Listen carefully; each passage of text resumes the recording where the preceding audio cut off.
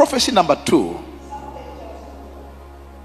our country, South Africa, must be careful in meddling with the issues of Middle East.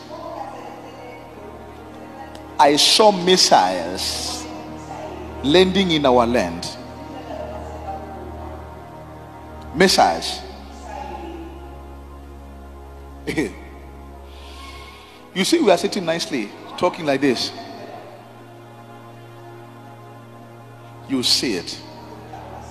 As surely as God lives, we need to be on our- knees. Because I saw missiles landing in this country.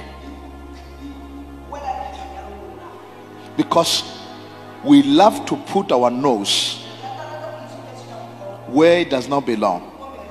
We, we, we have to pray for the Middle East, but getting too involved, there will be bloodshed in the country.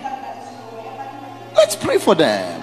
There's nothing wrong about that. We are with them, we don't like what is happening there, but we must not get too involved. There will be bloodshed. I'm telling you.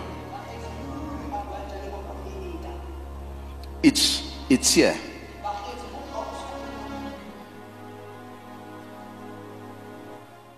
God said I must give a warning.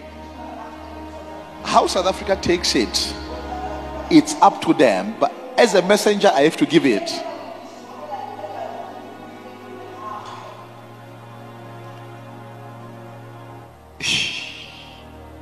Oh my God.